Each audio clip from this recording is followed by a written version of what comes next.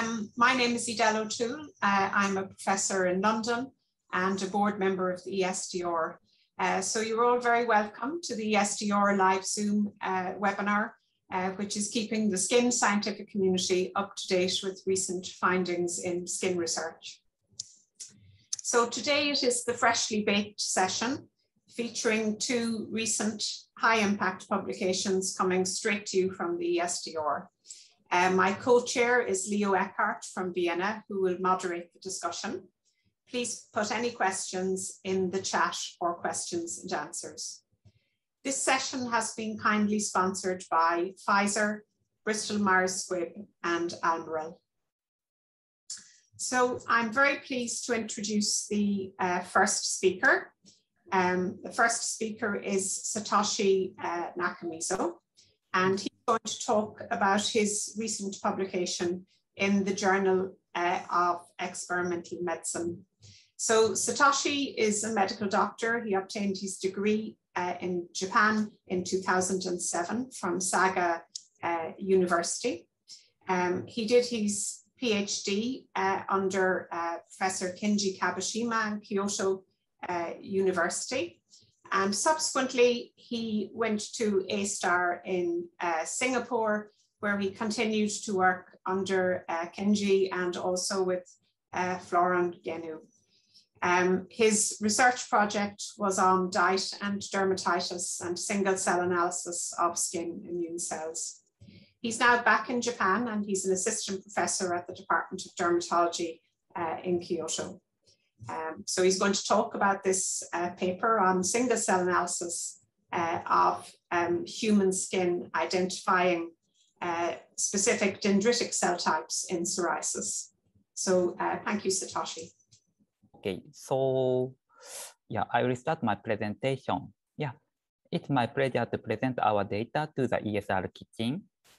So today we uh, we talk only the essence of the paper. So if you want to know the detail of the data, please see this JEM paper.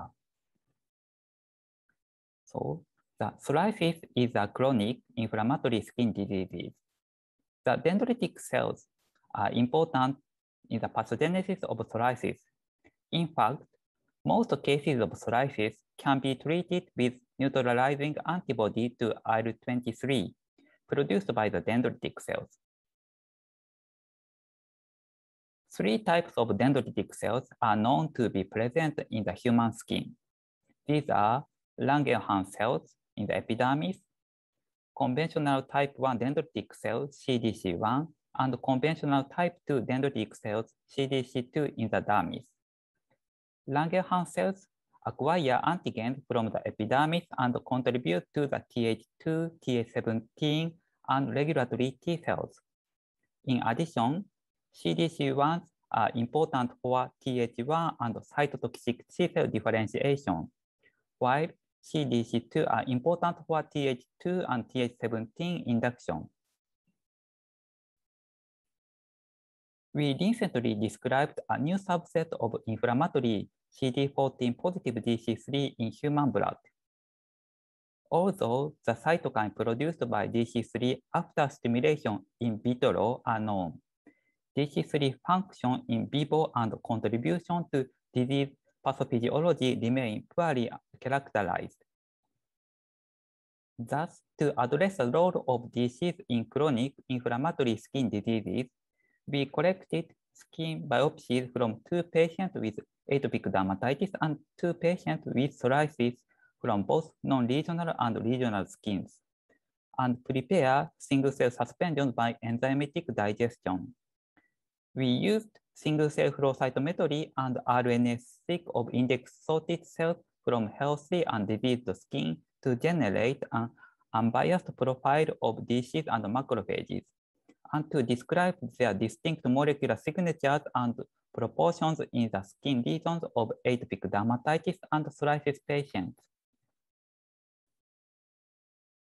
Single-cell RNA-seq data was then mapped into UMAP space to identify cell clusters based on transcriptional similarity and heat map of surface protein expression level described from flow cytometry data were overlaid on the UMAP identified cell subset to identify CD141 positive, CDC1, CD1C positive, CD88 negative, CDC2, and CD88 positive, CD14 positive, CD1C negative macrophages. We previously reported that CD, CDC2 comprised CD14 negative DC2 and CD14 positive DC3, and that DC3 plays an important role in the inflammatory disease. Thus, CDC2 were divided into CD14 negative DC2 and CD14 positive DC3 subset. We also cluster the cell in an unsupervised way based on RNA expression using the k-nearest neighbor algorithm, then analyze differentially expressed genes in the each cluster to conform the annotation in the cell subset defined based on indexed cell protein expression data. Together, these approaches reveal that cluster 1, this yellow cluster, corresponds to CDC1, this uh, cluster expressed XCR1, and cluster 2 to 4 here correspond to DC2, this cluster high expressed HLA-DR, and cluster 5 to 7 likely correspond to DC3.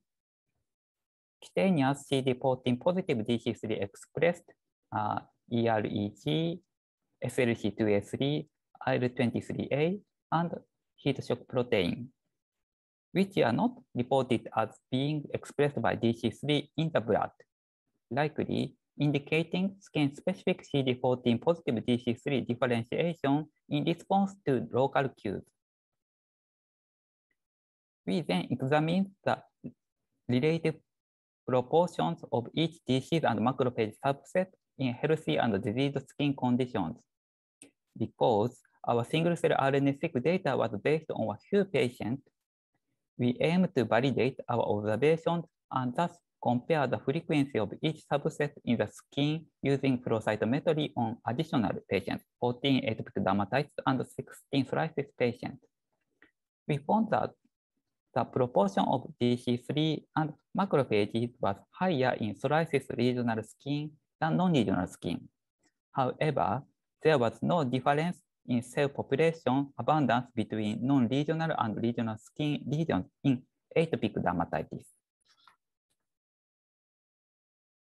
Next, as IL-1 beta and IL-23A have been reported to play an important role in the development of psoriasis, we examine the cell-producing IL-1 beta and IL-23A. We found that the overall expression level of IL-1 beta and IL-23A transcripts and the frequency of IL-1 beta single positive and, and IL-1 beta IL-23A double positive cells were higher in psoriasis regional skin than non-regional skin. The majority of cells the majority of cells expressing IL-1 beta alone were macrophages, while most of the IL-1 beta IL-23A co-expressing cells were DC3s. Finally, we used immunohistochemistry to confirm that CD14 positive DC3s produce IL-23. The staining of psoriasis regional skin with antibodies against CD1C, CD14, and IL-23 shows that the main source of IL-23 main source of IL-23 was CD14 positive DC3s and macrophages. This is the immunostaining. The CD1C single positive cell is DC2, and CD14 single positive, positive cell is macrophages, and CD14 and CD1C double positive cells here is DC3. When you see the IL-23 staining, the double positive cell produce IL-23 and also the CD14 single positive cells also express the IL-23.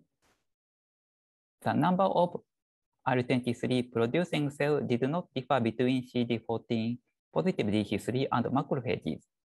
but most CD14 positive DC3s producing IL-23, which was consistent with the result of our single-cell RNA sequencing analysis. We then asked whether specific marker expression pattern was associated with IL-1 beta, IL-23A co-expressing cells, and found that they were characterized by CD83, an activation marker for DC, AREG, associated with the fibrosis, and the OLR1, and the SLC2A3, the receptor for glucose and lipid. Immunostaining shows that higher percentage of GLUT3. This is the protein of SLC2A3, positively in CD14 positive DC3 than DC2 and macrophages. In psoriasis regional skin, the number of HLDR GLUT3 double positive cells was increased in the site of was increased at the site of accumulation of lymphocytes in the superficial dermis. This population is increased in psoriasis, and this cell is located in here. This is a lymphoid cluster.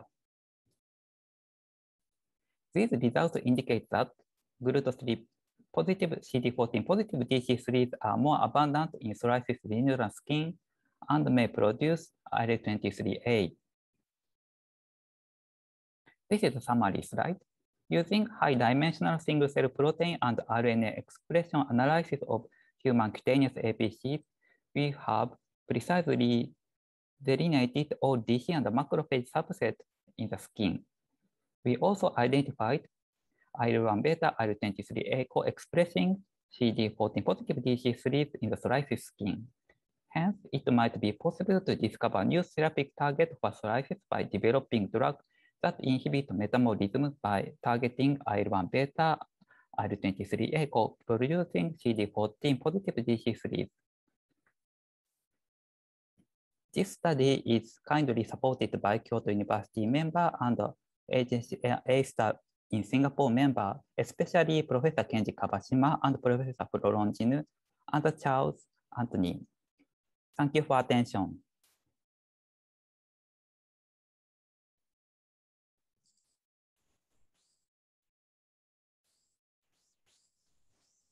Uh, thank you very much, uh, Satoshi. Uh, that was uh, fantastic. Um, questions will be at the end, so we'll move on now to the next speaker. So the next speaker is uh, Janis. Uh, he did his undergraduate studies in technical biology at the uh, University of Stuttgart.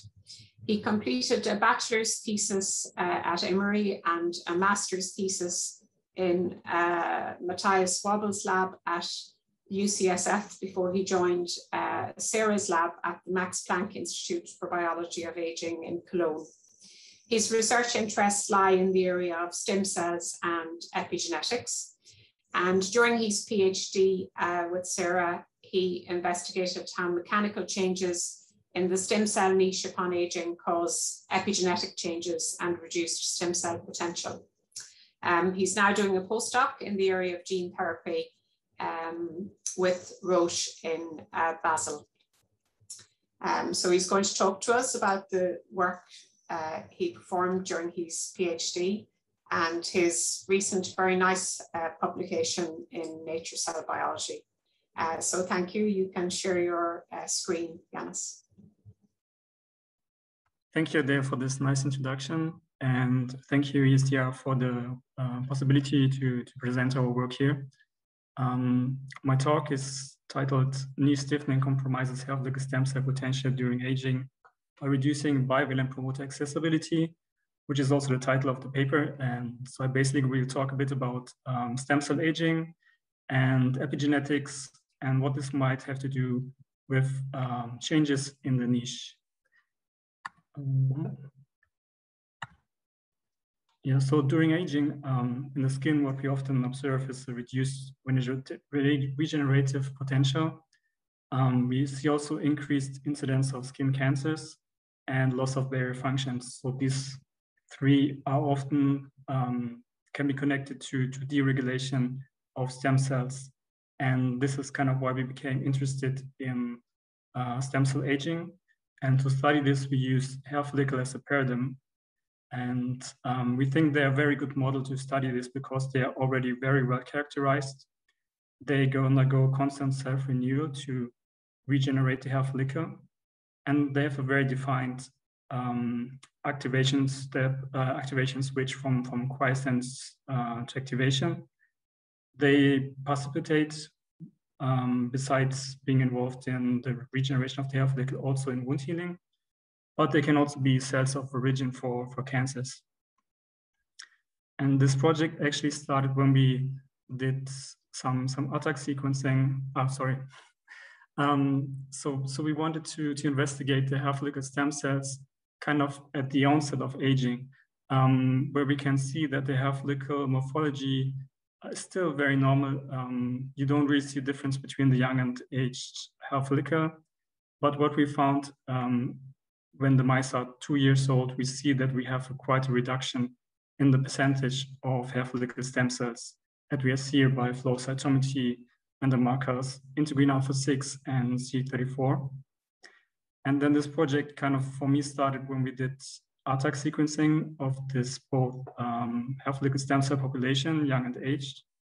And so ATAC-seq is a method where you can use to find changes in the open and closed chromatin. So you have open chromatin in the genome that are usually active, and then you have regions that are more compacted, more silenced, so, so not active. And with this method, we found that we have many regions in the genome of the follicle stem cells that in aged uh, mice become less open, so they become more compacted. Um, in the heat map, every single row is one region in the genome, and the darker the blue, the more open is this region. Um, to kind of find out what this could mean, potentially, we did as a next step um, some clustering of this data together with ChIP-seq data. So we had we generated data uh, for H3K4 trimethylation, which is an activated mark uh, you can usually find at the promoter of active transcribed genes. And we had generated ChIP-seq data for H3K27 trimethylation, which is usually um, a repressive mark. And so when we did clustered the results from our ATAC-seq, so we just took here these, these regions which are uh, less accessible in the HF follicle stem cells and clustered this with the ChIP-seq data. We found one cluster that we think is very interesting. And um, so this cluster is this one, C4. And in this cluster, you have like a reduced accessibility. Um, and you also have what is very interesting, actually both marks. So you have this activating mark, H3K4 trimethylation, and also the repressive mark, H3K27 trimethylation. Um, and also here, what you can see is reduction in the H3K4 trimethylation in the HF stem cells. So regions that usually have these both marks, they are called bivalent genes. And um, what is very interesting about bivalent genes is that once a signal reaches a certain threshold, you um, um, you get a very robust activation of these genes, um, as you can see here. And also you can find these genes, um, these, these marks often at stem cell genes. So when we looked a bit more closer, what kind of genes are in this cluster? we found that we have many genes involved in developmental processes, um, but also genes involved in, in stem cell fate and differentiation and cell cycle and stem cell self-renewal.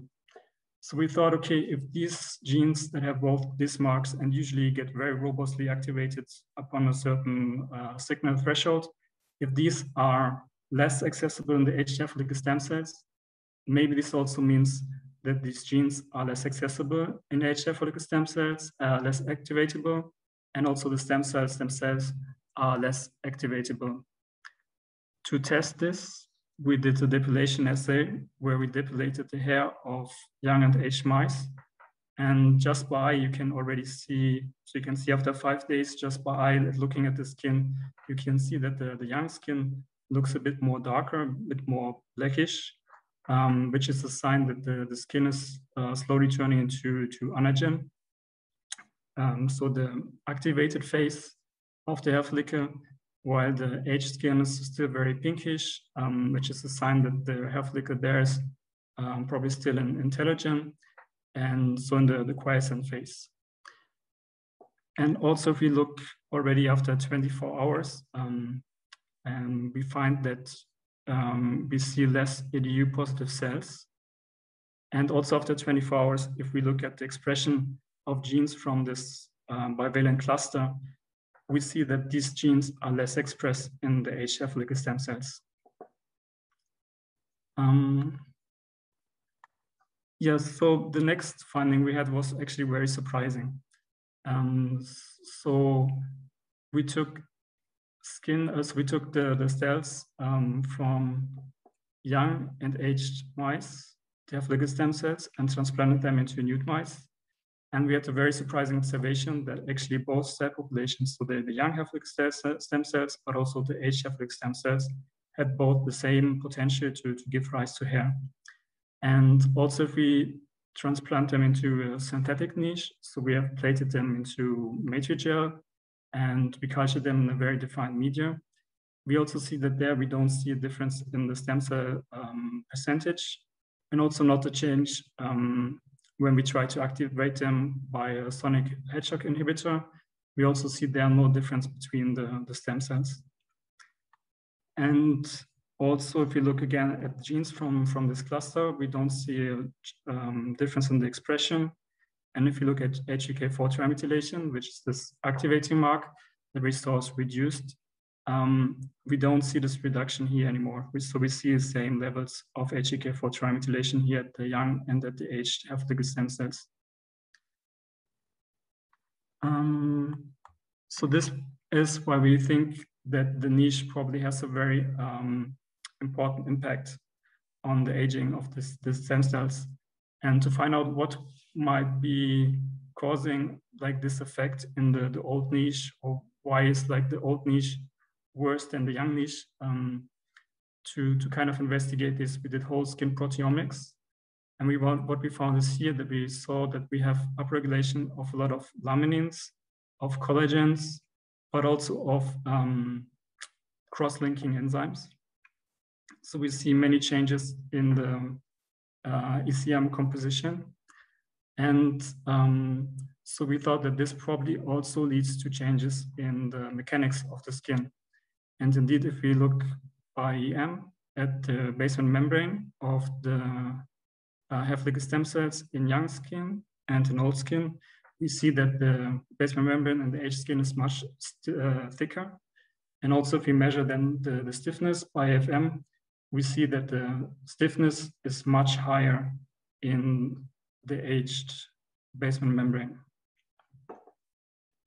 Next, we wanted to find out, does this change in basement membrane stiffness um, already have an influence on the haploid stem cells? So to test this, we actually did two different approaches. And the first approach was to take skin from young adult mice, um, remove all the cells, and then plate back cells on these scaffolds. And what was very interesting to see is that if we plate back the cells on the scaffolds, on this young and aged um, basement membranes, we see that the cells on the aged basement membrane um, are less prolifer proliferative and also show um, less expression for LIF1, which is also one of the genes from, from this bivalent cluster. The second approach was to, to engineer hydrogels. So here we took um, Matrigel, like we did before, but, but collagen and used a PEG crosslinker. And by this, we could use uh, engineer hydrogels that kind of match the, the stiffness of the, the young and the old basement membrane. Then we looked again at uh, genes from this bivalent cluster and kind of what we see before was that uh, there's no change between the young and old cells. But there's a change if we put the cells into the um, stiff hydrogel. Then we have less expression of these genes. Um, so what is now kind of causing the reduction of the expression of these genes or this, this um, um, less accessibility of these bivalent genes, um, how is this now protect, um, uh, connected um, with the, the stiffness, change in stiffness. And so, so one thing we observed um, when we looked very closely at the follicle stem cell was that um, just by looking at the, the nuclei, we can already see that the nuclei in the of the HF follicle stem cells seem to be um, less circular and more elongated, which is a sign that these cells could experience higher mechanical stress. And this is also in line with um, another experiment where we stained for uh, phospho-myosin. And so we also see there that the um, HF stem cells have higher phosphorylation uh, of myosin, um, which both indication that these cells experiencing higher mechanical stress. And from, from previous um, work in our lab, but also from others, we know that increased mechanical stress can lead to reduction in transcription. And um, so this is actually also what we see um, by staining, but also by chip. Um, we see that we have reduction of uh, transcription, and we can also recalculate this in the hydrogels. So we see the same in the stiffer hydrogels. And also um, we use two in vivo models. Um, I'm not showing the data here, but if you uh, if you're interested, uh, feel free to look into the paper a bit more closely. Uh, so we use two in vivo models where we um, knocked out um, ECM proteins, and by this we can change the, the basement membrane, and we see the, the basement membrane stiffness, and we see similar effects. So we also see the stiffening of the basement membrane in these in vivo models. Um, we see reduced hair follicle stem cells, and we also see this reduction of um, transcription. And so to kind of sum up what we think is happening in during aging of the hair stem cells. So we think we have an altered ECM composition, which then leads to an increase in basement membrane stiffness. Um, this increase in basement membrane stiffness leads to higher mechanical stress, which down regulates uh, global transcription. And by this, we also have a reduction of, of H3K4 trimethylation and chromatin accessibility at these bivalent genes. So while in the um, young hair follicle, young, young hair follicle stem cells, um, we have these, these bivalent genes in this bivalent states. Upon activation, you have this robust activation of the genes, but also the stem cells. Um, but then in the follicle stem cells, these regions are more compact. Um, so in the end, you have a reduced activation of these genes, but then also of the, the stem cells, um, which leads then to reduced follicle stem cell potency. And we think this leads then in the long run also to reduced number of follicle stem cells. And by this, I would like to uh, thank first, of course, uh, Sarah for the possibility to, to do this um, project in her lab and all the other members from the Wikström lab, all our collaborations, um, especially Karen Nielsen, um, for a lot of support and mentoring. And thank you all for, for listening and looking forward to your questions. Thank you very much, Yanis, for this excellent presentation. And also thanks again to Satoshi for also a very nice presentation. And both papers are now open for discussion. So we will try to mix the questions uh, and maybe just let's uh, begin with a question to, to Yanis. So maybe if you can have a look also in the chat so you can read together with me. So thanks for the interesting uh, question. Uh, has anyone uh, transplanted old versus young human hair biopsies into nude mice? And if so, what were the results on stem cell activation? Also, if the surrounding environment determines hair growth, how can hair transplants work? Since we are transplanting from an area of growth into an area of no growth.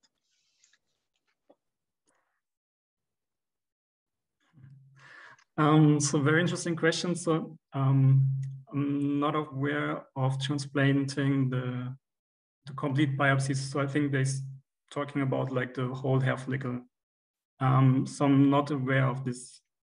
Um, would be interesting because I think, I mean, if you transplant a hair, hair follicle, then you also have probably the, the basement membrane, um, which we think is like the, the main driver here.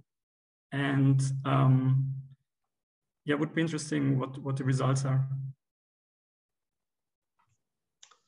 Okay, thank you. Uh, let's continue with one more questions for Janis. So is the YAP-TAZ uh, pathway inhibition mm. involved in general downregulation of transcription? Yes, this is a very good question. So we really looked quite uh, extensively into, to YAP-TAZ because this was also one thing that we thought, I mean, um, this would be involved, but we didn't see any clear evidence that this has changed. Um, so yeah. Okay, thank you. And another question for Satoshi now.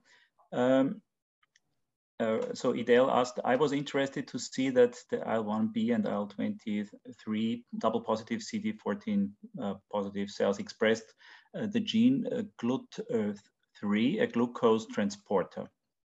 So in view of association of psoriasis uh, with uh, metabolic syndrome, do you plan to use dietary modifications to see if this affects psoriasis? Thank you for question. Yes, uh, yeah. I also want to see uh, that diet directly affects the DC3 to produce DC3 or not. Previously, we check the uh, activation, uh, um, the metabolism compared to the DC3 and uh, IL-23, IL-23 producing monocyte. So the uh, the uh, DC3 have more um, activated by the glucose compared to the monocyte. So I think when we use the specific inhibitor to block the glucose transporter, uh, the production of IL-23 should be decreased in psoriasis patients. So I want to plan to use the drug in the mouse model. Okay, thank you. Uh, I have another uh, question to Satoshi. Hmm. Uh, maybe I have missed it. So what is the distribution of uh, these DC3 uh, cells in the non-lesional uh, skin of psoriasis? non-lesional skin of psoriasis, mainly located around the blood vessels. Mm. Mm. And maybe I have also missed in your presentation. So did you investigate the gene expression in non-lesional versus lesional skin in these DC3 cells? Ah, yes, yes. We also take the uh, gene expression of DC3 in non-regional regional skin. The in regional skin, DC3 also expressed another um, inflammatory gene, such as uh, IL-8 or some chemokine to uh, some chemokine for the neutrophil recruitment or another cell recruitment, T, T cell recruitment. Mm. But uh, also have the potential to produce IL-23. Okay, thank you. Uh, I'm looking if I see more questions now. I have actually one more question to Janis concerning the role of the mechanical like influences. So you presented the data on the hair follicle, but I was wondering, is it a similar situation in the interfollicular skin? Because also the extracellular matrix will change during aging or I don't know, in, in other tissues. Can you comment on that? So we haven't looked very extensively at the IFE. Um, but what I know is that there's also some publication um, in the nervous system where they also see changes in the, the um, in the mechanics of the tissue, and so they kind of see similar results that we do. Um, so I think also, I mean, in general, you see like a lot of changes, ECM changes during aging. So I think this could be something that is more also can be um, found in other tissues. Um, yeah, but I think it would be very interesting to to uh, to look more at this. Okay, thank you. Uh, at, um, uh-huh, well, one more question. I think we can uh, still uh, discuss this one. So regarding the single cell RNA-seq study, I'm curious whether the different dendritic cell subpopulations indeed represent stable and distinct DC types, or is it simply a snapshot of a few basic DC types being at different stages of activation? Mm -hmm. Question to Satoshi. Yeah, okay, yeah, good question. So it is difficult to answer, but uh, uh, for example, uh, DC1, DC2, and DC3 is uh, is another DC because the precursor was different, but uh, some DC population is not the uh, linear, don't have the linear differentiation, just uh, activate the stage of activation. So when we see the DC population by using single cell RNA sequencing, we we see both the activation stage of dendritic cell and the uh, and the, the type of DC. So we see the both. So sometimes it is difficult to see the just see the activation stage or this is a really different DC. Okay, thank you. I think we have to close uh, uh, the webinar because uh, of the time. Uh, thanks again to Janis and Satoshi for their really excellent and very interesting presentations. So I would like to invite everybody to also attend the next um, ESDR kitchen session, which will be at the, on the 8th of September at the usual time. And it will be a, a sweet and sour discussion between uh, Johan Gudjonsson and Jörg Prinz with about the topic, is psoriasis an autoimmune disease? And we look forward to this very much. And uh, maybe one final slide, if we can show this, uh, a reminder that we also look forward to uh, meeting all of you at our 50th annual meeting of the ESDR, which will take place uh, virtually on the 22nd to 25th of September. And until the 27th of August, you still have the opportunity to send uh, late breaking abstracts. And I hope you use this opportunity, if not, if you have not already submitted. So thanks again to everybody and have a nice afternoon and see you again soon. Bye-bye. Bye. Bye. Bye.